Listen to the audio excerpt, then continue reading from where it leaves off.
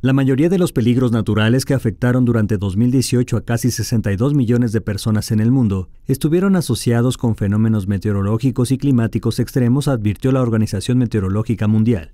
De acuerdo con la vigésima quinta edición de la Declaración de la Organización sobre el Estado del Clima Mundial, correspondiente a 2018, las inundaciones continuaron como el fenómeno con mayor número de afectados, más de 35 millones de personas. Los datos del informe se obtuvieron tras el análisis de 281 fenómenos registrados por el Centro de Investigación de la Epidemiología de los Desastres y por la Estrategia Internacional de las Naciones Unidas para la Reducción de los Desastres.